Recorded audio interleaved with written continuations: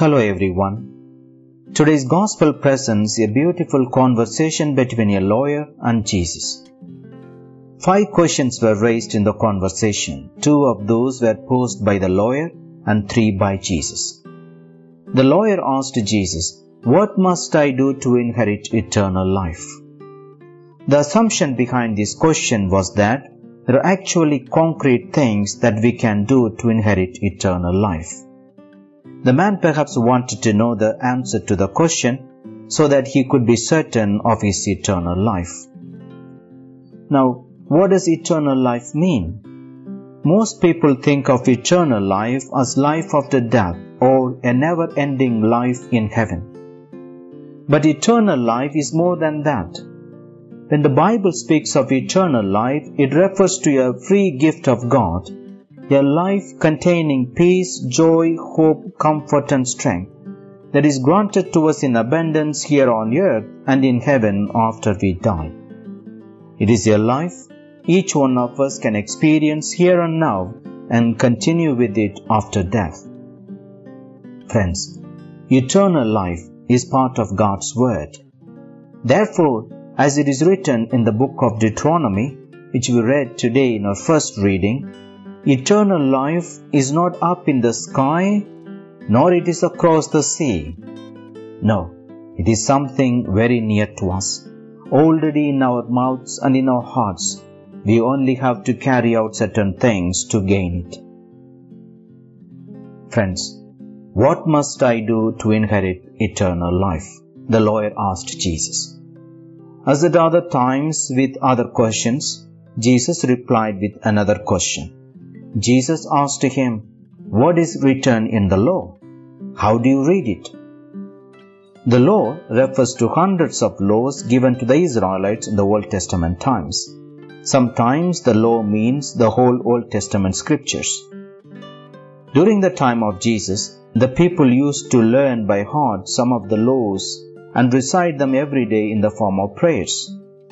One such prayer is, from the book of Deuteronomy, chapter 6, verse 4 says, Hear, O Israel, the Lord our God, the Lord is one. Hear, O Israel, the Lord our God, the Lord is one. So, knowing the law of God, the lawyer quoted two commandments or laws. One was from the book of Deuteronomy, chapter 6, verse 5, which says, you shall love the Lord your God with all your heart, and with all your soul, and with all your strength, and with all your mind. And then from the book of Leviticus, chapter 19, verse 18, it says, And your neighbor as yourself. Friends, Jesus replied to him, You have answered correctly, and then assured him that if he followed the scriptures, he would live. Immediately, the lawyer posed a second question. He asked Jesus, Who is my neighbor? Friends, Luke writes that the lawyer's first question was to intended to test Jesus. The purpose was to see how much Jesus knew and maybe to make Jesus look ignorant. But Jesus' reply put the ball in his court. Now he was being put to the test. In order to avoid an embarrassing situation, the man asked the second question about who his neighbor was. He could not ask who is God. As a scholar of the law, he was supposed to know that. He was also supposed to know who his neighbor was. So he asked the second question in an effort to justify himself. Who is my neighbor? Friends, Jesus responded by telling the story of the Good Samaritan. The story was about a man, most probably a Jew, who had been beaten severely, robbed of all his belongings, and left nearly dead beside the road between Jerusalem and Jericho. After a while, a Jewish priest went down the same road. As a religious man, he should have stopped to help the badly injured man. But instead, he went past. Later a Levite came along. Now Levites were assistants to the priest. He also went on without helping the man. A little later, a Samaritan man came by.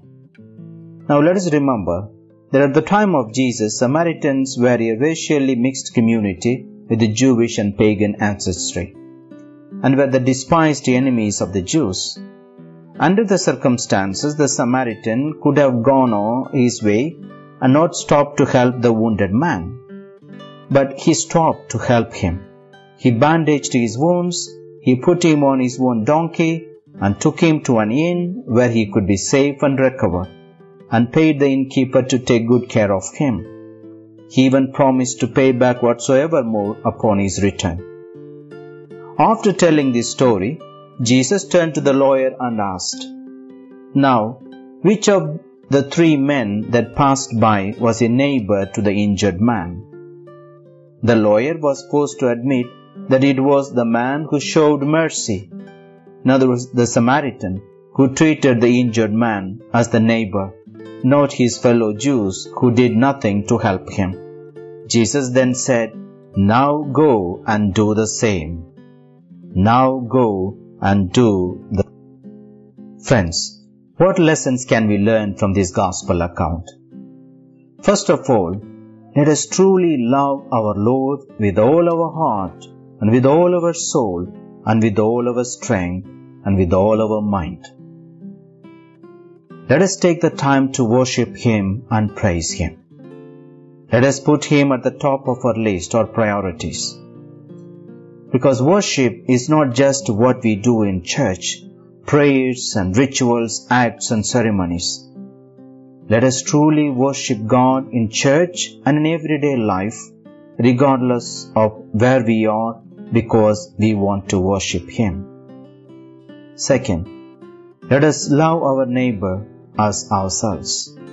If the Samaritan could recognize the wounded Jewish man as his neighbor and cared for him, even though he was despised and hated by them, we too should do so. All are our neighbors because all are God's children.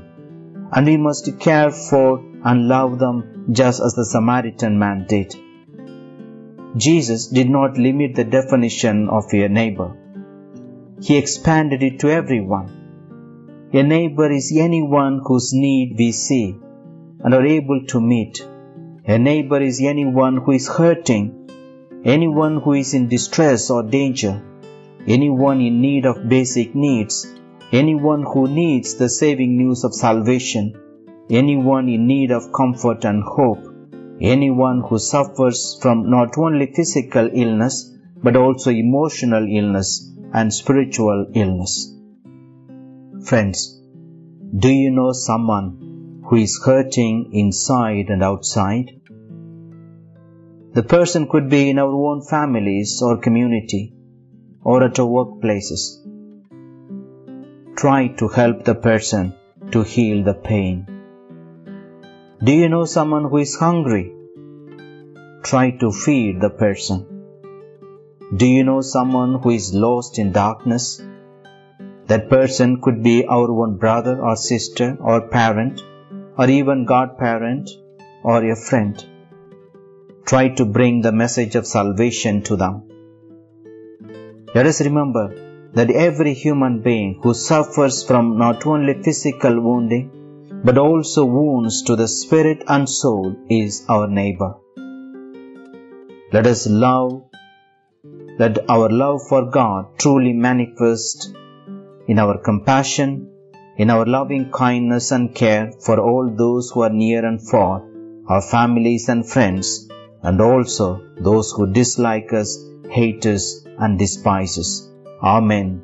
God bless you.